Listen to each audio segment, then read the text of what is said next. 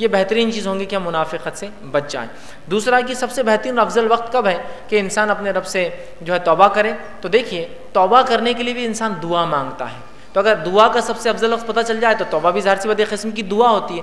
توبہ وہ دعا ہوتی ہے اس میں انسان اپنی مغفرت طلب کرتا ہے اللہ سے۔ توبہ کا معنی پلٹنا ہوتا ہے، رجوع کرنا ہوتا ہے اور جو اللہ کی طرف پلٹنے کے لیے انسان جو استغفار کرتا ہے ٹھیک ہے؟ پلٹنے کے لیے جو عمل اپنے جو عمل برے کیا، اس سے جب پلٹتا ہے، تو جو معافی کے لیے عمل کرتا ہے، اس کو استغفار بولتے ہیں عربی میں۔ تو استغفار بھی ایک قسم کی دعا ہے۔ تو سب سے افضل دعا کا جو وقت ہوگا، وہی سب سے افضل وقت استغفار اور توبہ کا بھی ہے۔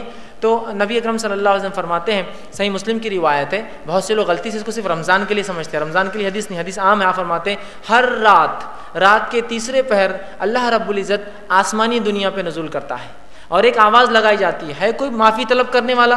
میں معافی دینے بیٹھا ہوں۔ ہے کوئی مانگنے والا؟ میں عطا کرنے بیٹھا ہوں۔ تو سب سے افضل وقت ایک دعا کا ہے۔ رات کا تیسرا پہر عام زبان میں کہوں تو سحر کا وقت، فجر سے پہلے کا وقت۔ اور یہ حدیث ہر دن کے لیے ہے، سال کے ہر رات کے لیے۔ رمضان خاص نہیں بہت صرف رمضان سمجھتے ہر رات کے لیے۔ تو لہٰذا انسان اس وقت اٹھے، اپنے رب سے توبہ کرے اور خوب استغفار کرے۔ اور اس کے علاوہ بھی کبھی بھی وہ کر سکتا ہے۔ اس کی تفصیلات اگر دعا کے لیے آپ کو جاننا ہے، تو میرا ایک پورا عنوان ہے دعا مومن کا اختیار۔ میں نے اس میں تفصیلی ڈسکس کیا، کب دعا کرنا ہے، کون سے وقت افضل ہے کون سے وقت کی دعا تو کبھی رد نہیں ہوتی ان تمام چیزوں کو، لیکن اس میں سب سے افضل ایک یہ تھا، جو رد بھی نہیں ہوتی اور افضل ہے، وہ تیسرے پہر کی ہے۔ تو آپ تب کر سکتے ہیں اور ان شاء اللہ عزیز، انسان اگر سچی توبہ کرے اور کوئی پہر اور کوئی وقت نہ بھی ہو، کوئی گھڑی بھی ہو، تو رب کو جو ہے ان شاء اللہ عزیز، وہ اپنے توبہ قبول کرنے والا پائیں گا۔ شرط یہ کہ اس کی توبہ خالص اور توبہ کی شرائط کے مطابق ہو۔